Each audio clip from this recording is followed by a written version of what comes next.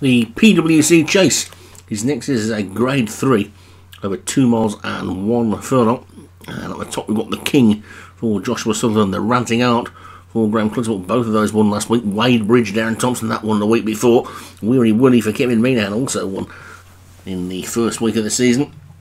African Bloom, Stu Gray, Alien Invasion, Leon Van Rensburg, American Pickers and Angel of Darkness for Paul Rhodes, Ashura Posh for David Robertson, by chance David a week one winner, Kaylee's Wold for James Shea, China Girl, Alex Cherry, Licinia Stelina, Craig Beckwith, Matisse DeBarwi, David Robertson and the Smiler, Joshua Sutherland, 15 there in this, and away they go, one of the bigger fields of the week I would think, and it's going to be the grey Kaylee's Wold who's going to go into the early lead. And make their way towards the first of nine fences they've got to negotiate in this. Licinia Stelina is in second. And the rest of them spread right across the track with African Bloom just the early back marker. But it's Kaylee's Wold who's got the lead. From Licinia Stelina in second. And by chance has moved through into third place. Weary Willie after that one in fourth. Matisse DeBarwi and China Girl and Wade Bridge, the ranting aunt, is next as they finally get to the first, which they're all safely over. With the two Paul Rhodes horses towards the back of the field at this point as they take the second. He's got his Obi-Wan colours on in this race. It's Kaylee's Wold and Licinia Stelina who dispute the lead then as they caught past the stand with a complete circuit still ahead of them. And Kaylee's Wold around the inside of Licinia Stelina in second. Those two are disputing the lead. Gap of four lengths back to Weary Woody in the green jacket in third. Then a line of three or four of them. Matisse DeBarwi by chance and Wade Bridge. The ranting art after them. Two Joshua Sutherland horses running together, the King and the Smiler.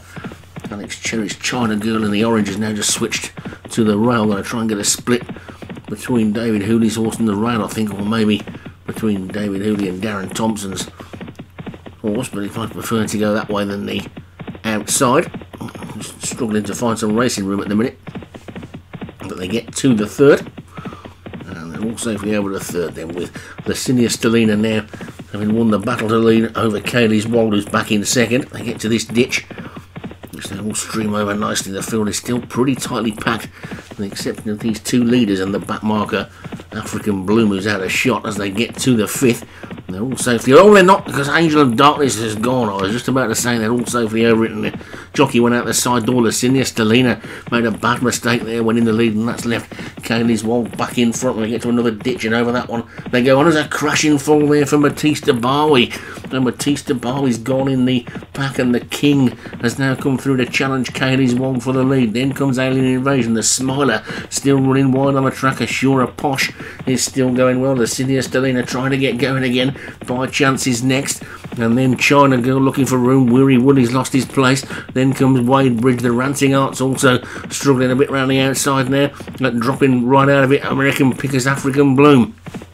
But it's Kaylee's Wold and the King who are disputing the lead. They've only got two more fences to take and three more furlongs to race. And the grey Kaylee's Wold on the inside from the King on the outside. Over it they go and the King out jumped. Kaylee's Wold and got back into the lead. It's the King who's gone on from Kaylee's Wold, but now coming through with a strong looking run is Wade Bridge and Alien Invasion. Over the final fence they go, and it's suddenly it's the King and Alien Invasion. It's the King on the near side. Alien Invasion over on the far side. They've still got a furlong to go, and the King, the top weight, is beginning to pull away again. It's the King in the lead from Alien Invasion who's moved through in a second. Then by chance going up the centre of the track now, moves in a second, and the Smiler's running through as well. But it looks like it's going to be the King that's going to take it up towards the line. The King takes it from by chance in second, and the Smiler Ashura Posh finished.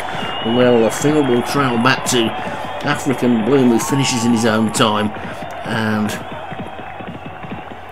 it's a pretty decent performance that by the winner, the King, who's taken it. And the King for Joshua Sutherland is the winner.